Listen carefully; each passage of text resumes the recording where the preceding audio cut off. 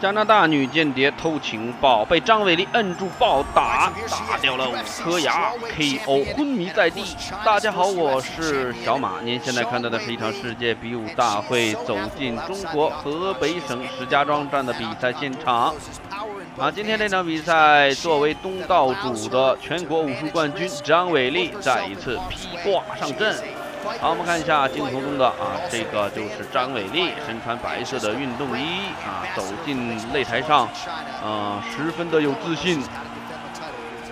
嗯，今天他的对手啊是来自加拿大的一名拳王。啊，不仅是拳王，他在工作的之余啊是打拳的啊，他的正式工作是一名加拿大中情局的女间谍。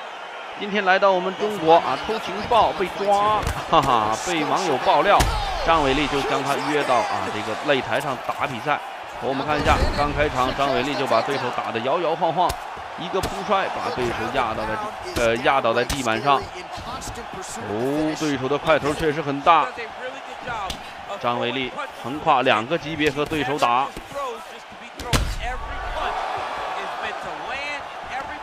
抱腿摔，把对手压在地板上。刚开场二十多秒钟，张伟丽已经两个抱摔，把对手压在地板下。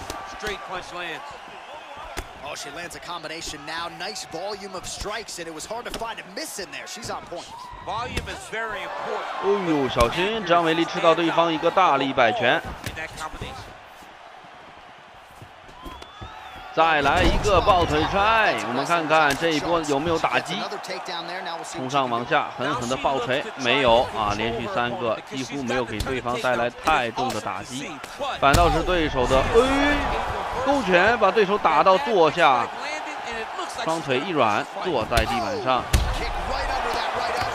张伟丽还是要打站立，不错，哎呦要 KO 了，夺命勾拳。摁在铁笼边，打死在擂台上，哇哦，实在是太漂亮了！恭喜张伟丽为国争光，为我们中国铲除了一名女特务、女间谍，让我们为她欢呼喝彩、点赞转发，多谢大家的支持！啊，接下来我们伴随着精彩的慢镜头结束今天的解说，喜欢记得点赞加关注，我们下期再见。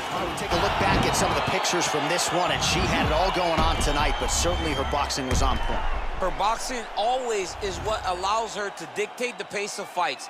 Finally, she landed the strike that ended the night of her opponent.